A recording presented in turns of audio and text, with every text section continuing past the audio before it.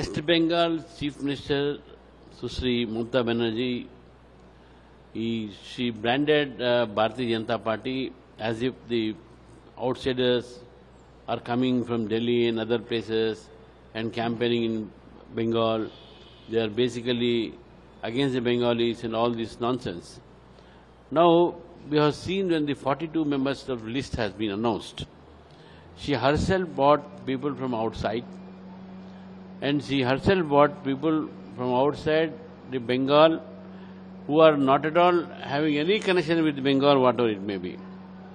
And uh, today they have been given tickets in the 40. This is given only because they are afraid of losing seats and they are trying to, the West Bengal uh, TMC is trying to portray, portray as if uh, uh, they are they are going to win more number of